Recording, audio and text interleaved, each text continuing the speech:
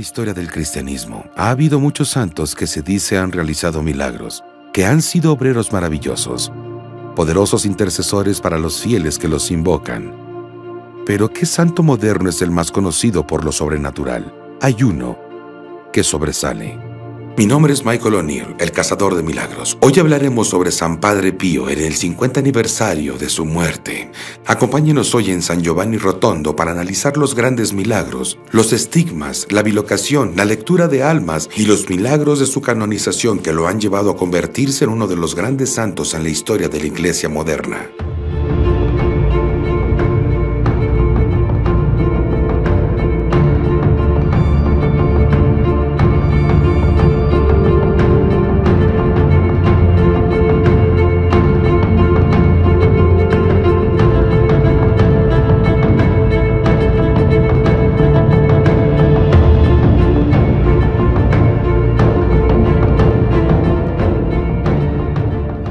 Gente de todo el mundo viaja a San Giovanni Rotondo con la esperanza de recibir una bendición de este increíble santo hacedor de milagros.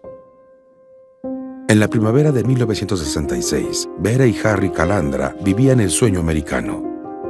Eran exitosos propietarios de negocios, padres de cuatro hermosos hijos y un quinto en camino, católicos devotos de la iglesia Holy Savior Church. Eran pilares de la comunidad predominantemente italiana de Norristown, Pensilvania. En abril, Vera y Harry estaban emocionados por dar la bienvenida al mundo a su quinto hijo, pero Vera Marie nació con defectos congénitos en el tracto urinario y le dieron una sentencia de muerte antes de que cumplieran el primer año de vida. Mi padre y mi madre tenían una tienda de abarrotes, la cual estaba justo al frente de la enorme iglesia católica italiana. Así que, debido a esa tienda, éramos muy conocidos como después de la misa los italianos llegaban a hacer todas sus compras, la gente sabía que mi padre tenía una hija enferma. Yo nací con lo que se conocía en ese tiempo como anomalías médicas. Tuve cientos de cirugías en mis primeros dos años y medio. Difícilmente encontraban espacio para ponerle agujas. a mis padres tuvieron que presenciar mucho sufrimiento. Entonces, en 1968, mi madre había dado a luz a su quinta hija. Estaba en casa con la recién nacida, esta niña enfermita, y hablaba con Dios como solo puede hacerlo un padre cuando ya ha agotado todas las posibilidades. Eh, fue en ese tiempo que mi madre se había de verdad vaciado de todo aquello que tenía adentro. Ella decía, que se haga tu voluntad, Señor, y no la mía. Todos oraban porque eso es lo que hace una comunidad, pero hubo un cliente que les recordó a mis padres que había un santo viviente cuyo nombre era Padre Pío. Era él a quien debíamos elevar nuestras plegarias. Mi madre empezó a rezar al Padre Pío. Incluso empezó a escribir cartas a San Giovanni Rotondo, pidiendo al Padre Pío su intercesión a sus oraciones, y empezó a recibir respuestas. Fue mi madre que entonces en nuestra casa olió una fragancia que de inmediato la alertó de que algo sobrenatural estaba ocurriendo y luego oyó esa voz. Ven pronto, no te demores, trae a tu pequeña hija.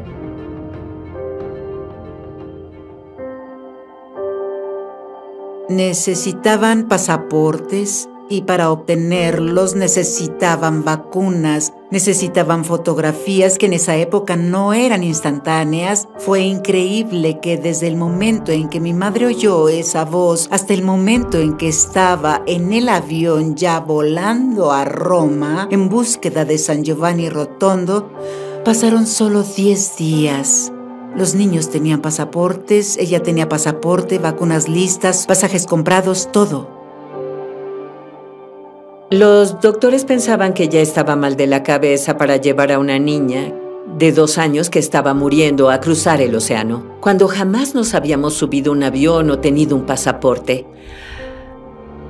Pero antes de viajar tuvieron que hacer una cirugía más para poder extraer mi vejiga.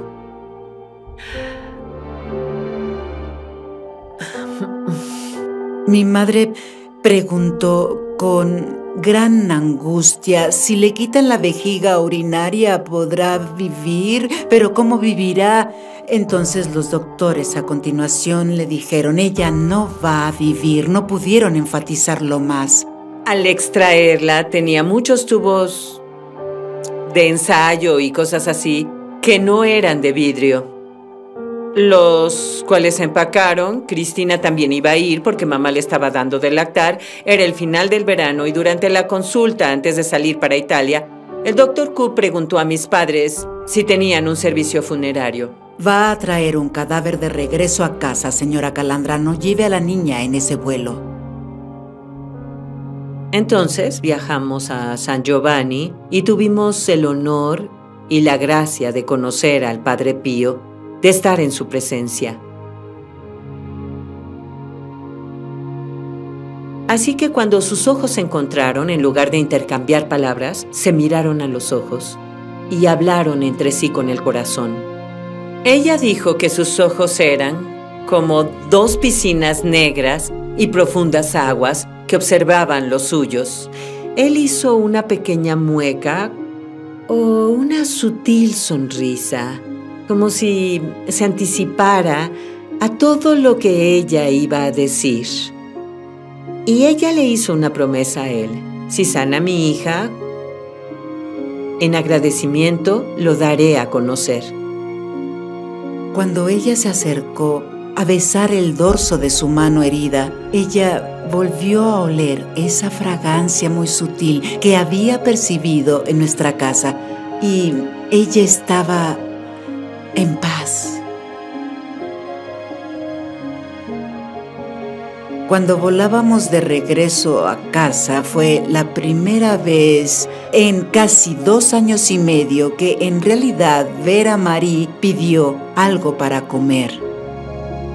Pedí una hamburguesa con queso. Mi madre estaba feliz porque era la primera vez que yo comía algo sólido. Pocas semanas después de eso vimos en las noticias que el padre Pío había fallecido. El doctor Everett Coop había dicho, si sigue viva, tráiganla para hacerle radiografías. Me las hicieron y dijeron, no entendemos lo que estamos viendo. Una vejiga pequeña estaba en el lugar de la que él había extraído. Los órganos humanos no se regeneran, el doctor entonces fue a decirle a mi madre, señora Calandra, si esa vejiga sigue creciendo, voy a escribir un libro. Y mi madre contó que él jamás escribió un libro, pero sí escribió sobre este asombroso fenómeno en dos revistas médicas. Ellos dijeron lo que estén haciendo, sigan haciéndolo, porque nosotros no podemos hacerlo. Era inexplicable para los doctores de hecho, después de mi trasplante de riñón en el 85, por ese tiempo el doctor Coop era cirujano general en Estados Unidos y claro, ya no trabajaba en el hospital de niños. Yo era un adolescente con alrededor de 20 años. Mi urólogo en ese entonces me dijo, Vera, quiero que vengas a ver al doctor Coop. Él va a dar una charla en el hospital de niños acerca de Provida. Por favor, tienes que venir a verlo. Y lo hice. Mi madre, mi padre y yo fuimos, oímos su charla. Y entonces mi doctor le dijo, ¿te acuerdas de ella? Ella fue paciente tuya. Quisiera saber, él me miró, reconoció a mis padres. Estaba pasmado y dijo, ¿sigues viva? Le respondí, sí, sí, doctor Coop, lo estoy, aún estoy viva. Y él dijo, no deberías estarlo. Es inexplicable, no deberías estar viva. Debido a la increíble curación de Vera Calandra, surgió el Centro Nacional del Padre Pío en Barto, Pensilvania, llamado el Hogar del Padre Pío en Estados Unidos. En el 69, como agradecimiento, volvimos a viajar. Nos reunimos con los frailes que en ese momento eran los superiores. Les preguntamos qué podemos hacer, qué más podemos hacer para demostrar nuestra gratitud el padre dijo, esto es exactamente lo que debe hacer, señora Calandra, dar a conocer al mundo al Padre Pío.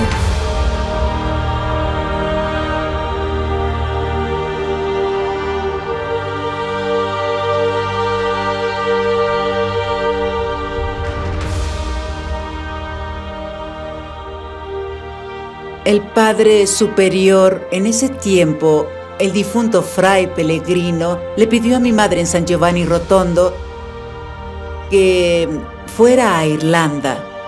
Ahí vivía un fraile, el padre Alessio Perente, quien había cuidado al padre Pío en los últimos años de su vida. Le preguntaron si estaría dispuesto a enseñarle a mi madre sobre el padre Pío. Ellos pronto se hicieron muy amigos y él empezó a instruirle en la vida del Padre Pío. La gente empezó a solicitar que Vera diera conferencias y programas sobre el Padre Pío. Ella fue a hablar a incontables centros superiores, iglesias, seminarios, monasterios, universidades y conventos en todo el mundo. En los Estados Unidos era necesario hacer mucho más.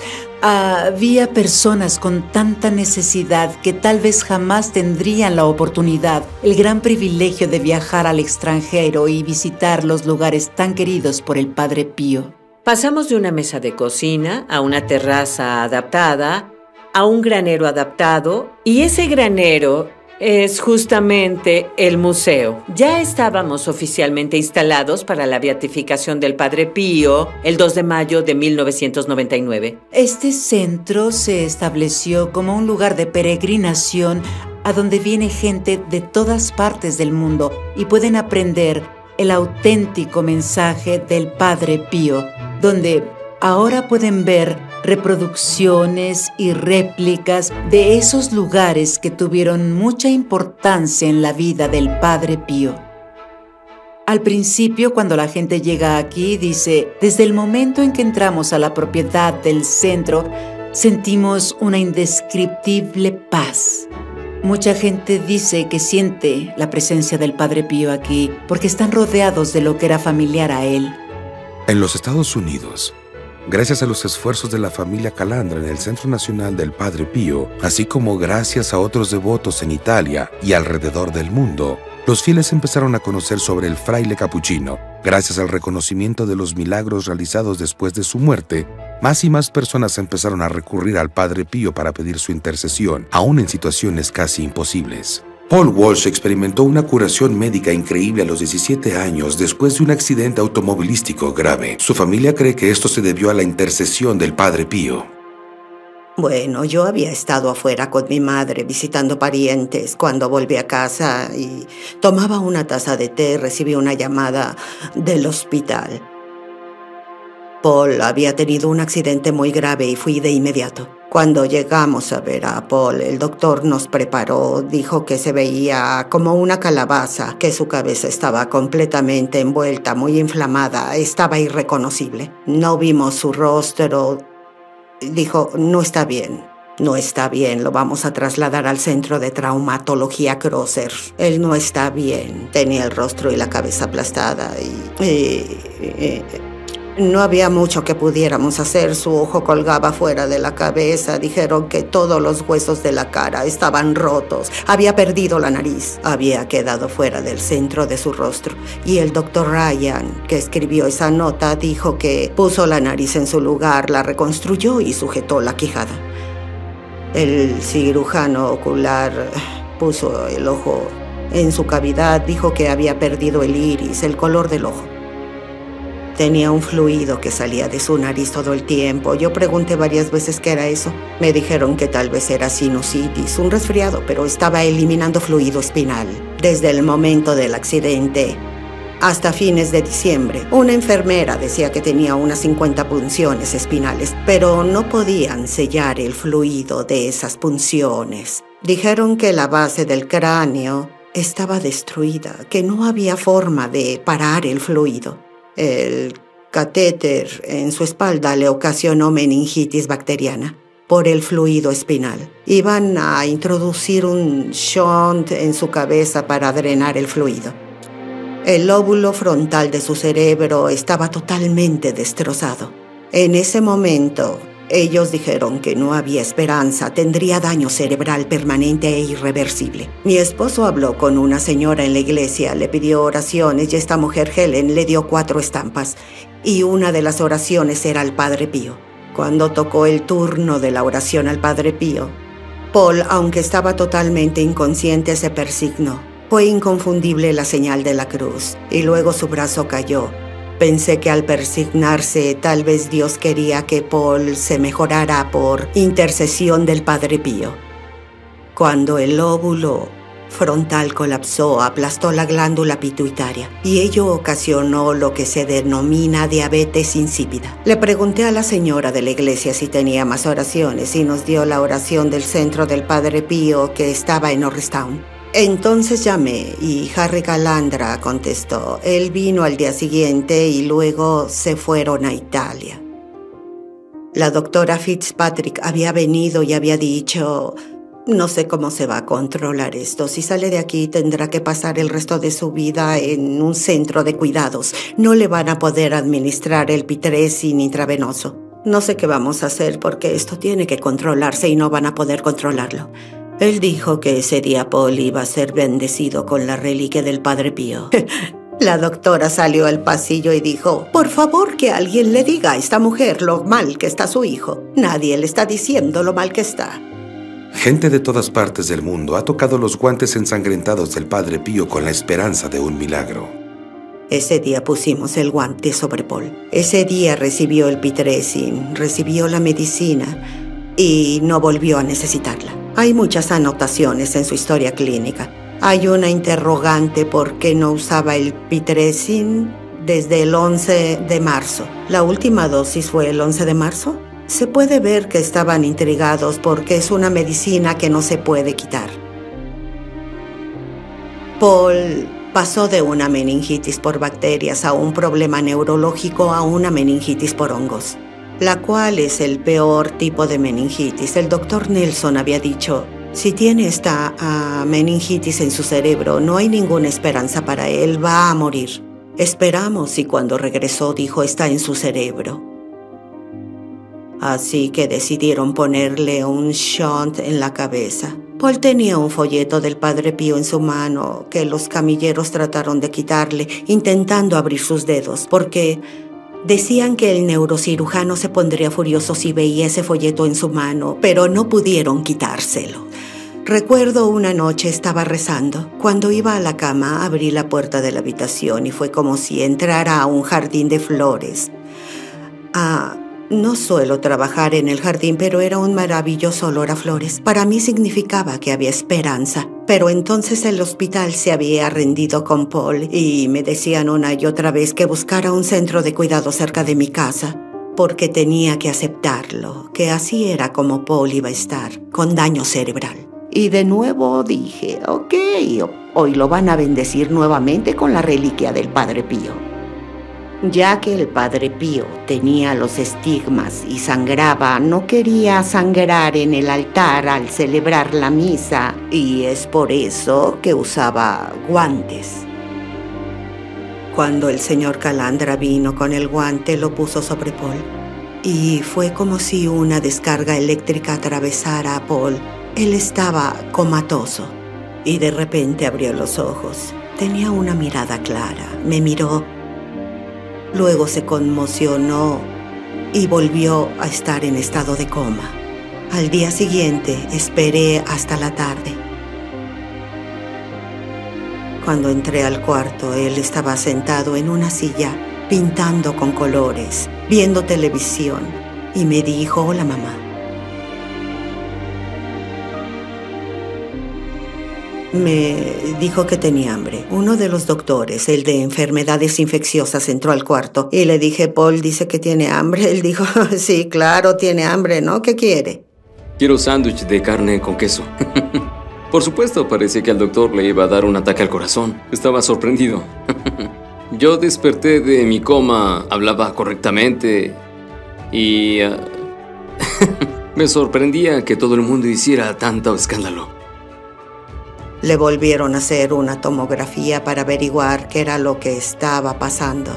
El mismo doctor de enfermedades infecciosas dijo, no lo puedo creer, no lo puedo creer, el óvulo frontal ya no está destrozado, está levantado.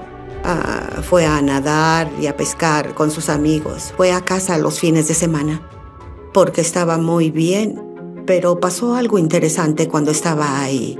Un día él salió de la ducha y había una cruz con una cadena.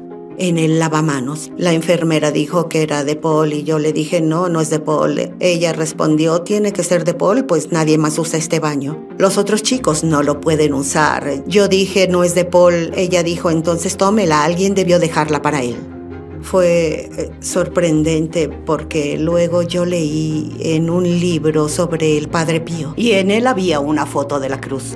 Con la cadena decía que el Padre Pío solía, solía repartirlas a la gente que iba a visitarlo. Por supuesto que mis otros hijos escépticos dijeron, voltea a la mamá, probablemente dice hecho en China. La volteamos y decía hecho en Italia. La mañana del domingo de Pascua, cuando fui a verlo, el compañero de cuarto de Paul me dijo que habían despertado muy temprano y que había una figura parada junto a la cama de Paul sonriéndole. Raymond dijo que era un sacerdote viejo con una sotana de color café. Paul dijo, no conozco a ningún sacerdote así. Así que le acerqué a Paul el folleto, escondiendo donde decía el nombre del Padre Pío y le dije, Hijo, ¿él es quien te visitó? Y él dijo, sí. Lo desdoblé y le dije, él es el Padre Pío. Ah, recuerdo haber visto esa cara muy feliz e iluminada observándome. Como un año después, un señor Bill Rose me llamó. Dijo que tenía algo que decirme. Yo estaba visitando el centro del Padre Pío. Le habían comentado que Paul se había curado. Dijo que el accidente ocurrió en el área donde vive, porque vive justo detrás del poste de teléfono que Paul chocó. Cuando oyó el accidente, él salió. Sacó a Paul del auto. Sostuvo su cabeza y dijo, porque sabía que no iba a vivir. Él rezó, Padre Pío, por favor lleva el alma de esta persona al Sagrado Corazón, yo te lo dedico a ti. Y llama la atención pensar que no conocíamos al Padre Pío hasta tal vez dos meses y medio o tres después del accidente. Por lo que me dijeron, un auto salió frente a mí y yo giré para evitarlo y choqué con el poste de teléfono pero no tengo ningún recuerdo de eso, gracias a Dios. Pero sí tengo memoria de los recuerdos de mi vida. Y luego fui a la universidad. Obtuve grado de asociado en la escuela comunitaria del condado de Delaware. Luego fui a la Universidad Newman y obtuve el grado de licenciatura en estudios liberales. Llevo trabajando 18 años con adultos discapacitados física y mentalmente trabajando en diferentes puestos en el programa diario y residencial. Agradezco al Padre Pío y a Dios por el Padre Pío. De todos los santos en la historia de la Iglesia Católica, el Padre Pío es tal vez el más grande santo moderno intercesor de milagros, ya sea por los milagros durante su vida o después de su muerte. Con los estigmas que es tener las heridas de Cristo o la bilocación, el Padre Pío es ejemplo de una persona que poseía increíbles fenómenos sobrenaturales. El Padre Pío es el santo moderno más conocido como sanador y hacedor de milagros o como decimos en el centro, el conseguidor de milagros de la historia moderna. Cuando nuestro Señor aceptó el compromiso del Padre Pío de ganar almas, nuestro Señor le dio toda la ayuda que necesitaría. Desde el 20 de septiembre de 1918, el Padre Pío llevó los estigmas, las heridas de Cristo, por 50 años, hasta su muerte. Como usted sabe, el Padre Pío realmente sufrió toda la pasión de nuestro Señor. Visible en su cuerpo tenía cinco heridas que fueron examinadas completamente.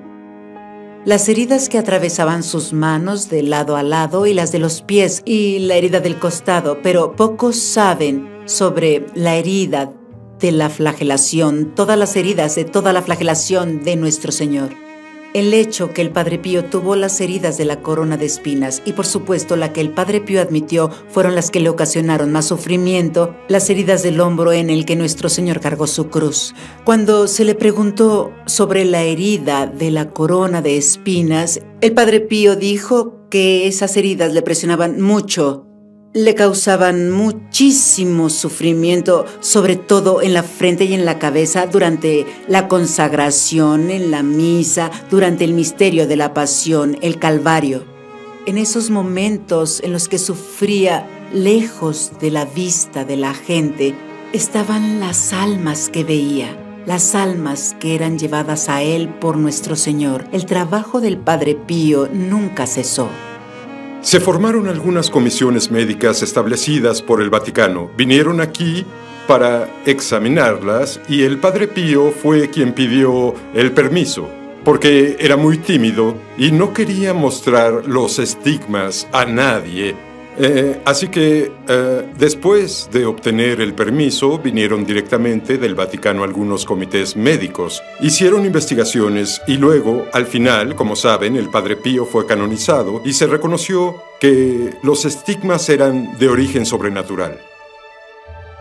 Ha habido muchos informes de casos de personas que vieron al Padre Pío fuera de San Giovanni Rotondo. Se piensa que es un auténtico caso de bilocación. Aún después de su muerte, la gente afirma tener visiones del santo fraile.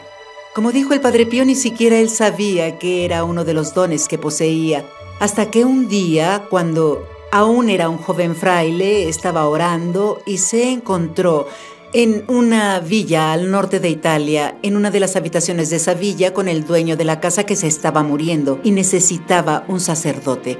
Al mismo tiempo estaba naciendo un bebé y él asistió al hombre que moría y al niño que llegaba a este mundo.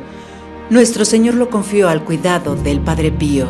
Al terminar su tarea, el Padre Pío estaba otra vez en su celda en su entorno, en el monasterio, debido al fenómeno de bilocación del Padre Pío, nuestro Señor lo envió a muchos lugares cuando fue necesario. El obispo de Uruguay había visitado al Padre Pío en los años 30.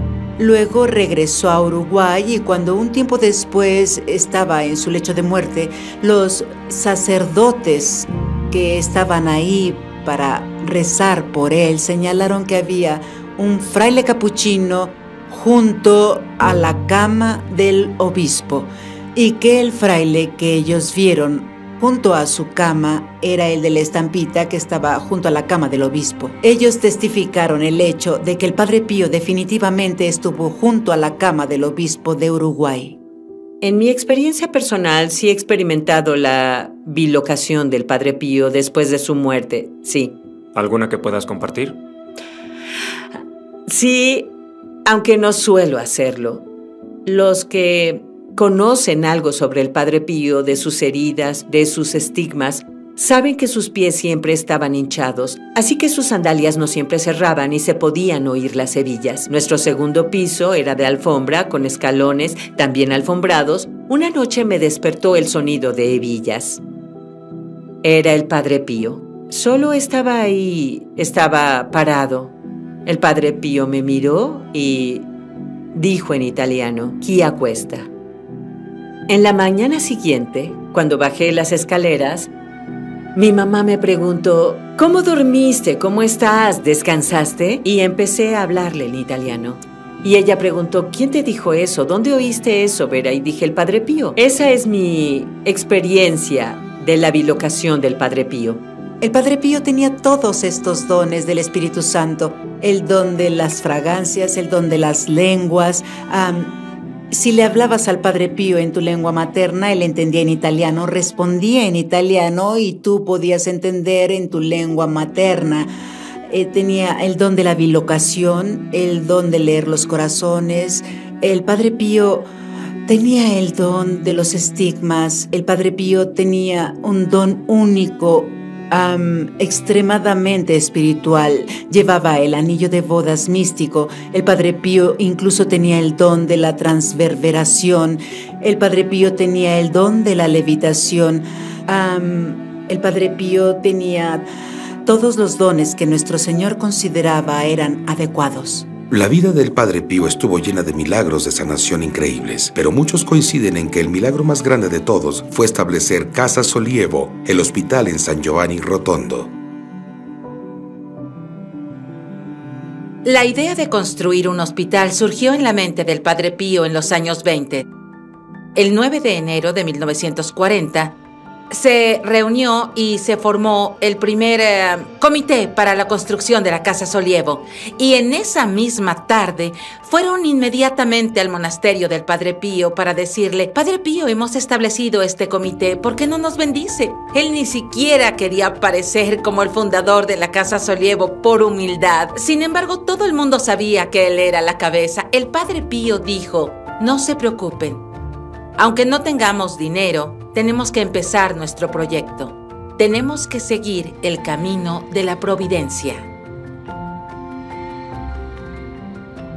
Los padres de los niños del área de oncología pediátrica, de esos pequeños niños, debido al problema del tumor por el cáncer, a veces tienen que quedarse incluso semanas o meses, así que la casa les da un lugar donde pueden estar sin costo, porque el padre Pío dijo, no digan no a nadie. Cuando el doctor decía, padre, en este momento no tenemos más espacio. Él decía, usen oficinas, usen cada pequeño lugar disponible del hospital para darles un espacio para quedarse. Finalmente dijo, de acuerdo, y una vez que lo terminemos, entonces lo haremos más grande. Él jamás llamó hospital a la casa Solievo. Siempre le llamó casa. Casa en italiano es como hogar en español. Todo lo tenemos aquí. Tenemos dos casas granjas porque el Padre Pío quería que sus pacientes comieran bien. Así que cuentan con cuidados humanitarios y amorosos, además de tratamientos de la más alta calidad.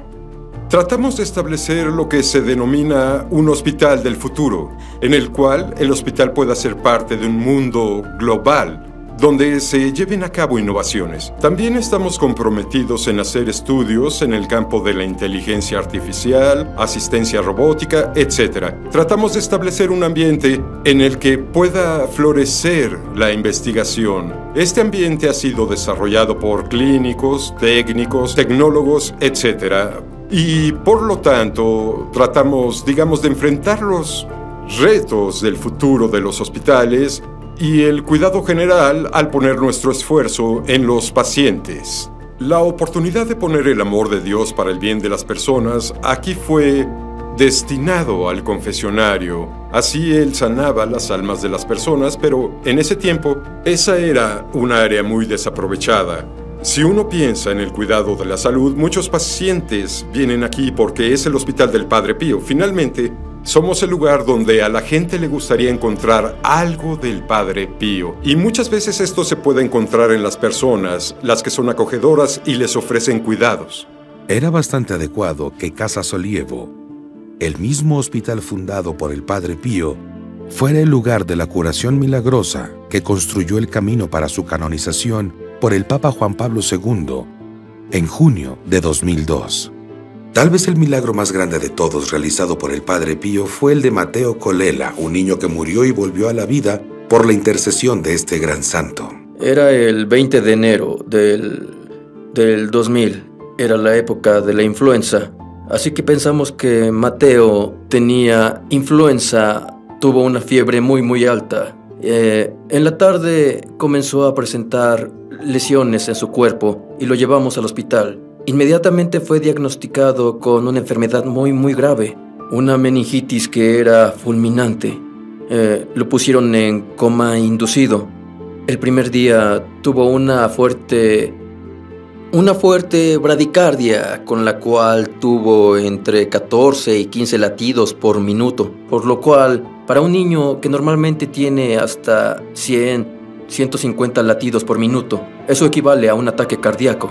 Recuerdo que en ese momento Mateo, que estaba en estado de shock, abrió los ojos por una fracción de segundo y lo único que él dijo fue, papá, cuando yo sea grande, quiero ser muy rico para dar todo a la gente pobre. En el momento en el que decía eso, a mí me mandaron afuera, pero dijo esas palabras, las dijo en voz tan alta que las pudieron oír todos los que estaban presentes, todos los médicos y enfermeras. Esas palabras dichas por un niño de siete años que estaba muriendo fueron muy importantes para mí porque en ese momento se reavivó la esperanza en mi corazón y todo tuvo sentido y entonces me dije a mí misma, ¿por qué si Mateo está muriendo dice que será grande? Así que salí de la oficina del doctor y comencé a rezar. Mi hijo iba a morir, así que entonces me sacaron del consultorio para que no estuviera en el peor momento.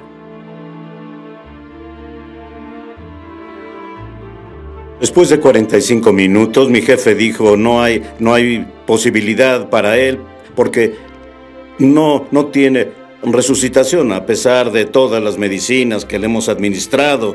Él me dijo, paremos aquí. ¿Cómo le podíamos decir a Antonio Colela, que era su padre, que su hijo estaba muriendo? Es la cosa más terrible que puede oír una madre, que puede oír un padre. Yo siempre recuerdo que en ese momento el mundo se oscureció para mí. Sentí que iba a morir. Pero me sobrepuse a ese miedo y le pedí algo al Padre Pío. Yo le dije, sé, siento aquí dentro de mí que este es un milagro por el que tú quieres interceder. Y si ese milagro es concedido, Mateo va a sanar completamente y yo pondré mi vida a tu servicio. Esa noche les pedí que comenzaran a rezar conmigo. Ellos me siguieron, me escucharon y empezamos a rezar el rosario en voz alta. Pero en determinado momento, después de varias Ave Marías, mi esposo me dijo, está bien, estamos rezando, pero ¿para qué oramos? ¿De qué sirve? ¿No entiendes que Mateo está muriendo? Yo respondí, precisamente por eso creo que la única cosa que podemos hacer es rezar al Señor y al Padre Pío. Yo, siendo médico, estaba en cuidados intensivos cuando Mateo tuvo ese ataque cardíaco. Pero en ese momento era un padre, no un médico. Yo dependía totalmente de mis colegas. Eh, me di cuenta de la gravedad eh, porque mis colegas nunca hablaron conmigo durante ese ataque cardíaco. Incluso después de ese momento, cuando me hablaron, no me daban eh, no me decían ninguna cosa, eh, no me daban explicaciones. Eh, además, el médico en jefe, que era muy amigo mío, esa mañana ni siquiera me saludó. Entró directamente a la habitación de Mateo. En ese momento comprendí como padre que, que ya no había nada que hacer por Mateo en ese momento. Yo solo Dije estas palabras, por favor, Padre Pío, ayúdanos. Preparé una solución de adrenalina con un muy alto nivel de adrenalina.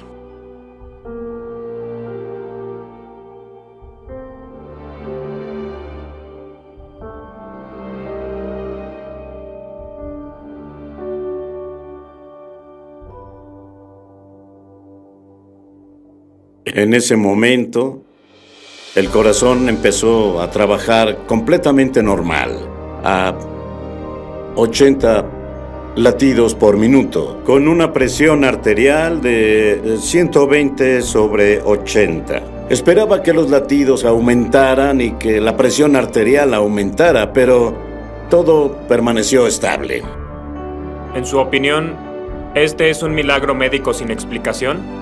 No lo sé pero no he visto nunca antes un caso así. Nunca había visto que un paciente después de hora y media de masaje cardíaco no, no presentara un, un problema cerebral, algún problema en el cerebro. Nunca, a nadie.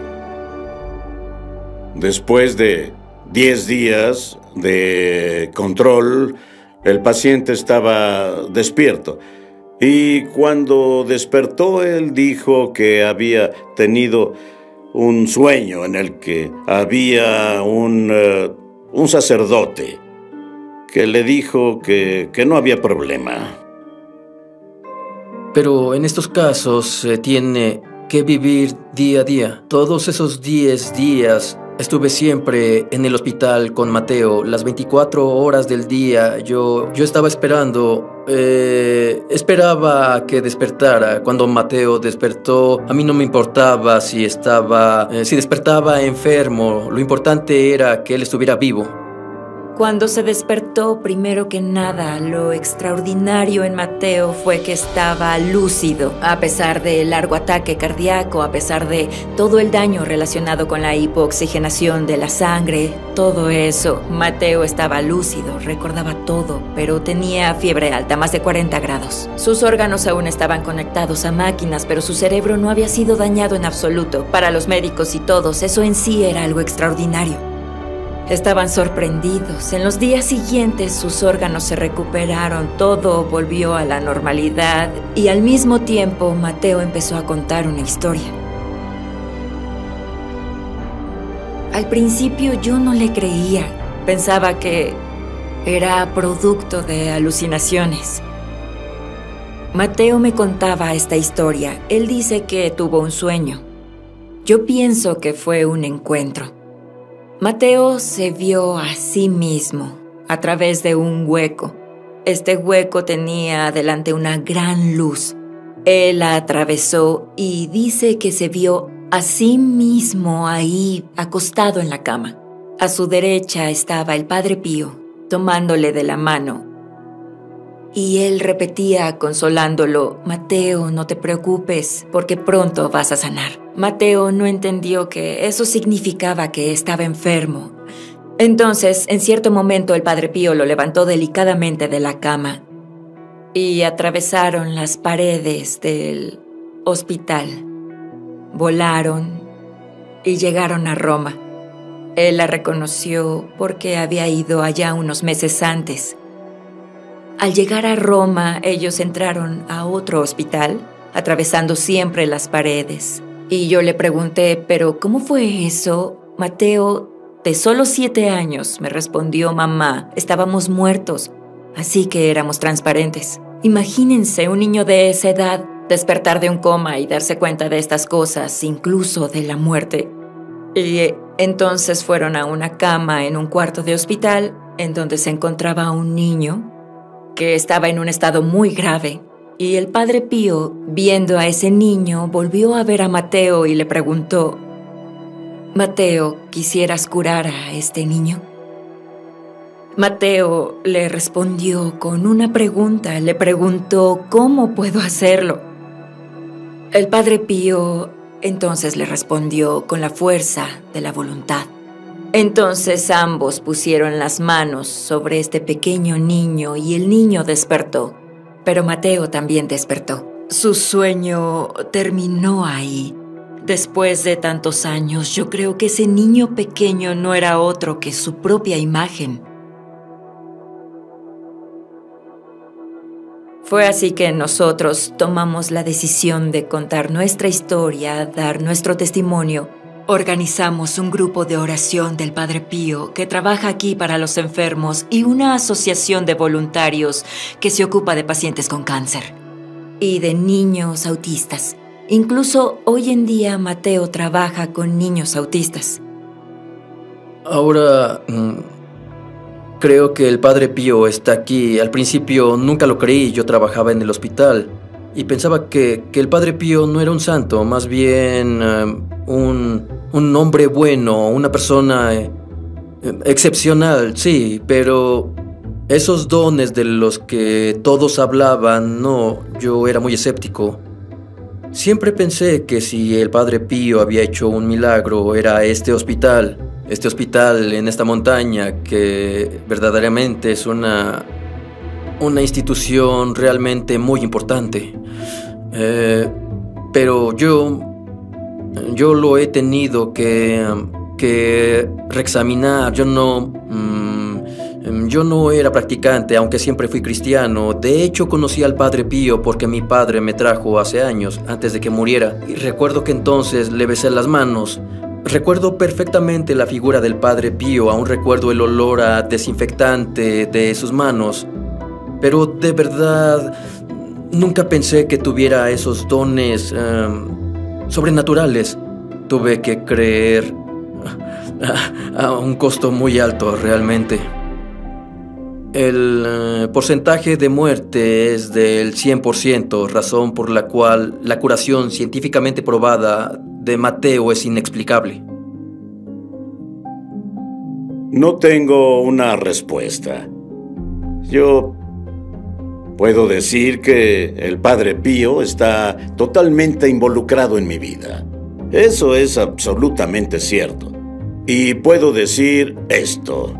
Para mí, esta situación fue muy, muy importante, porque en ese momento yo me di, me di cuenta de que mi vida estaba aquí, en este hospital, porque pienso en el mensaje del Padre Pío sobre el control del paciente, cuando decía que teníamos que dar amor al paciente. Para mí esta es una eh, consideración importante en el enfoque médico.